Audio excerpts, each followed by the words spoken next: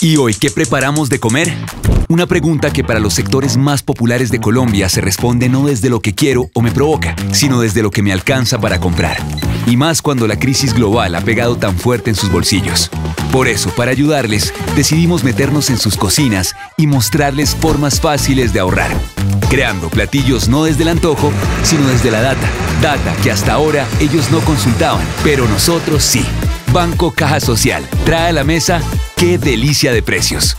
La idea que en real time transformó en platillos la data de aquellos alimentos que bajaban de precio diariamente. Para lograrlo, a las 5 de la mañana, cuando el Departamento Administrativo Nacional de Estadística DANE y las centrales de abastos publicaban los precios, el banco elegía los productos que ese día se comportaban mejor y los enviaba a Nicocinas, uno de los chefs digitales más influyentes del país. A través del live streaming, el chef le mostraba a los colombianos qué ingredientes compraba. Luego iba a la cocina, preparaba y emplataba.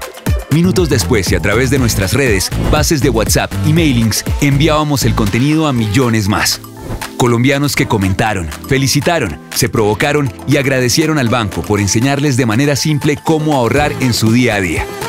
Un banco que por varios días se convirtió en chef un chef que les enseñó a transformar la data hasta ahora invisible para ellos en una poderosa herramienta de ahorro y sabor. ¿Y el postre? Bueno, a pesar de que la idea nació como una acción netamente digital, terminó siendo un referente en el canal de televisión más visto en el país. Mira, lo que hicimos durante el mes de agosto con el Banco Caja Social fue agarrar los precios de la central de abastos y ver que había bajado de precio.